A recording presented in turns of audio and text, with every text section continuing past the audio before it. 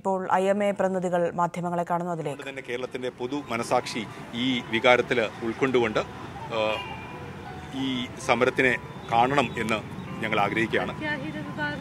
അത്യാഹിത വിഭാഗങ്ങൾ ഒഴികെയുള്ള അത്യാഹിത വിഭാഗം ഒഴികെയുള്ള സമരമാണ്.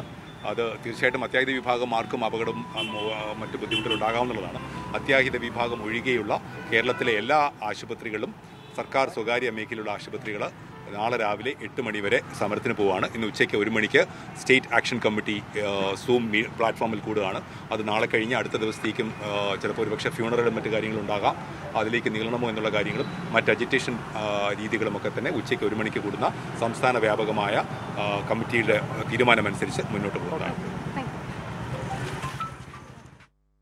ഐ എം എ പ്രതിനിധികളാണ് പ്രതികരിച്ചത്. അത്യാഹിത വിഭാഗം ഒഴികെ എല്ലാ ആശുപത്രികളും രാവിലെ നാളെ രാവിലെ എട്ട് മണി വരെ സമരത്തിലേക്ക് പോകുന്നു എന്നാണ് അവർ അറിയിക്കുന്നത്. വലിയ പ്രതിഷേധമാണ് ഡോക്ടർമാരുടെ ഭാഗത്തു നിന്നും ഉണ്ടായിക്കൊണ്ടിരിക്കുന്നത്.